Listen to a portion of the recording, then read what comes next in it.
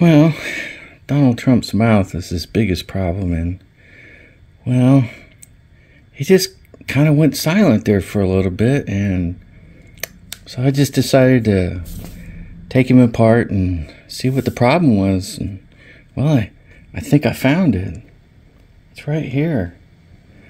I think the uh, the Democrat controlled legal system got in there and kind of disconnected his mouth so he couldn't say anything anymore.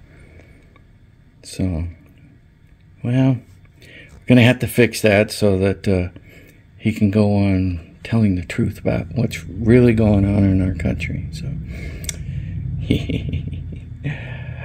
enjoy the fun, guys.